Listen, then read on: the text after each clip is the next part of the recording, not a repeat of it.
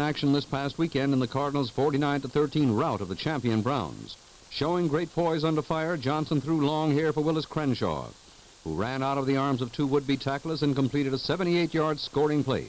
It was one of six Johnson TD passes completed against one of the league's better secondaries. Any contest that has Jimmy Brown in it would not be complete without mention of the Cleveland runners supreme. Brown, who leads the league in rushing, supplies his own commentary.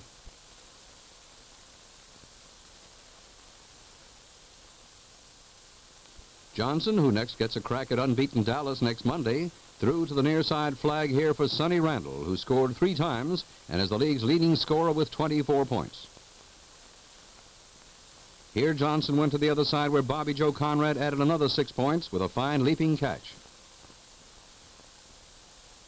Quarterback Johnson, regarded as one of the league's comers, just as the Cards have been so regarded as a team the past few years, found Sonny Randle with this one.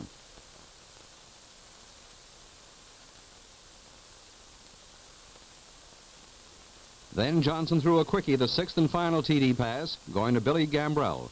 The Dallas secondary has something to think about this week.